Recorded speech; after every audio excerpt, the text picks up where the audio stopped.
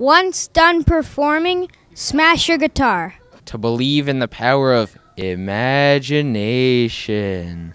Listening to the haters. The worst advice I ever got was to take it for what it is because what does that even mean, anyways? Worst advice I ever got was my brother told me if you stick a fork in the microwave, you get a free helicopter ride. If you can't do it, just quit and work at McDonald's. Just do it. It'll be fine. One time, Mr. Carney told me to stand up in a canoe. When I was kneeboarding, my friend told me to jump up in the air and try to catch the kneeboard. My advice is to take bad advice from the bad advisors, and the bad advisors take bad advice from the bad advisors that advise them.